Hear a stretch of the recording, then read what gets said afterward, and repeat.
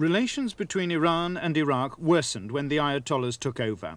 The Iraqis claimed that the Iranians were refusing to implement border agreements, and the first skirmishes broke out. In the first big incursion, Iraqi tanks rolled into Zain al-Qaus on September the 7th. Two days later, they occupied the border village of Saif Saad. On September the 17th, the Iraqi army captured a group of border posts in the south, and then the war began in earnest. At the beginning of last week, Iraqi MiGs bombed 10 Iranian airfields. The next day, the Iranians hit back, and three British workers became the first foreign victims of the war.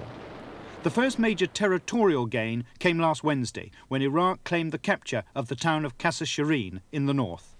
Qasr Shirin was the first Iranian town of any consequence to fall to the Iraqis, and our visit here today is the first independent confirmation of its fall.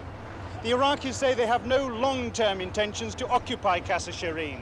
They'll use it, they say, to force other concessions out of the Iranians. As the Iraqi grip tightens on the town, a few hundred bemused residents adjust to a new and frightening military presence, mainly the old and the infirm who couldn't manage to escape the war. Many thousands left before Shirin fell, but the Iraqis say that some are trickling back. They come back to a world that's been turned upside down. Before they left, loyalty was expected and demanded by the fanatical revolutionaries who followed the Ayatollah Khomeini. Now, the Islamic revolution has been replaced by the ruthless Arab socialism of President Saddam Hussein. Destruction in the area was limited to the local Iranian radio and TV station, not destroyed in the fighting, but deliberately demolished afterwards by Iraqi engineers. They blew it up, they say, as a penalty for the anti-Iraq propaganda it had been transmitting across the frontier.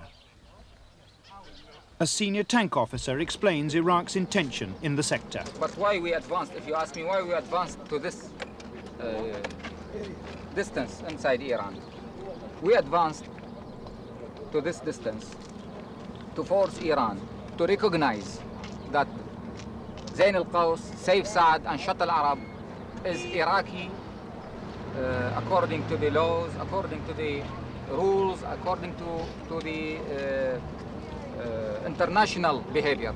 But you will be holding on to this Qasr Shirin sector until the Iranians acknowledge that Zain al-Qaus and the right. others are that yours. Right. We don't want Qasr Shirin. It is Iranian.